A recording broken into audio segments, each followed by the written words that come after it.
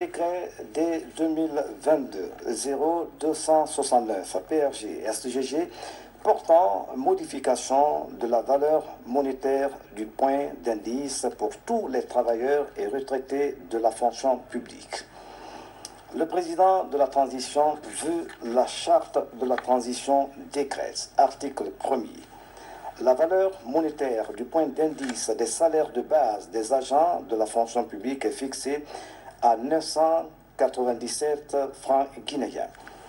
Article 2. La valeur monétaire du point d'indice des salaires de base des retraités de la fonction publique passe de 698 francs guinéens à 977 francs guinéens.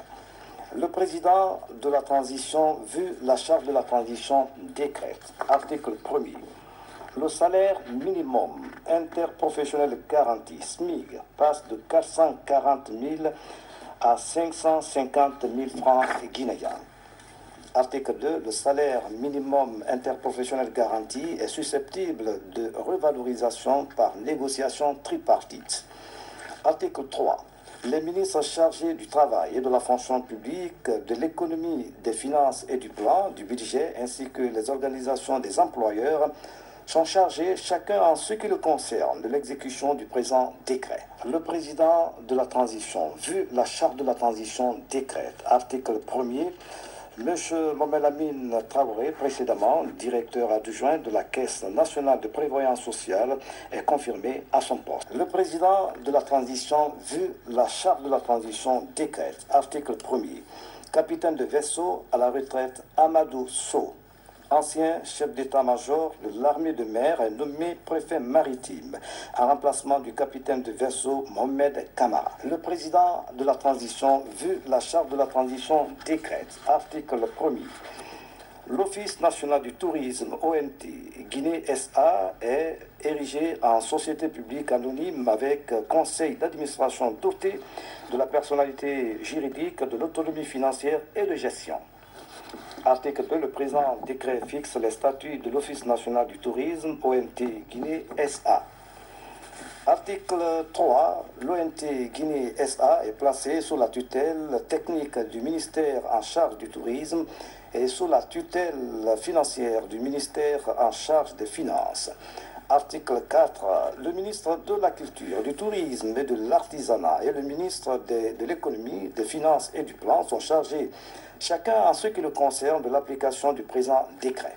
Décret dès 2022 0273 PRG CNRD SGG portant création, attribution et fonctionnement du Fonds de l'environnement et du capital naturel fécal.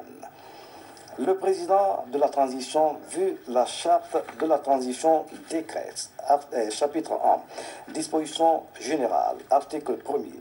Il a créé un établissement public administratif EPA dénommé Fonds de l'environnement du capital naturel, en abrégé FECAN, placé sous la tutelle technique du ministère de l'Environnement et du Développement durable et sous la tutelle financière du ministère en charge des finances.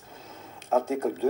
Le Fonds de l'environnement et du capital naturel est doté de la personnalité morale et de l'autonomie financière et de gestion conformément à la législation et à la réglementation régissant les établissements publics administratifs en République de Guinée. Le FECAN est en outre une entité nationale accréditée auprès du Fonds vert pour le climat, le Fonds d'adaptation et tout autre fonds innovant lié au climat. Chapitre de mission. Article 4. Le Fonds de l'environnement et du capital naturel a pour mission principale d'assurer la collecte, la mobilisation, la sécurisation et la gestion des fonds destinés à la promotion et au financement des opérations, des programmes et des projets entrant dans le cadre de la protection de l'environnement et de la préservation du capital naturel. À ce titre, il est particulièrement chargé. Chapitre 4. Disposition finale. Article 47. Le ministère de l'Environnement et du Développement durable, le ministre de l'Économie, des Finances et du Plan, le ministre du Budget sont chargés de procéder aux inscriptions budgétaires dans une loi de finances de toutes les ressources financières nécessaires au fonctionnement du Fonds de l'environnement et du capital naturel. Ils sont en outre chargés, chacun en ce qui le concerne, de l'application du présent décret.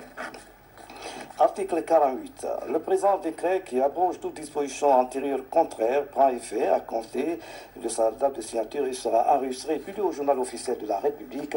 Conakry, le 1er juin 2022, signé colonel Mamadi Doumbouya, chef de l'État.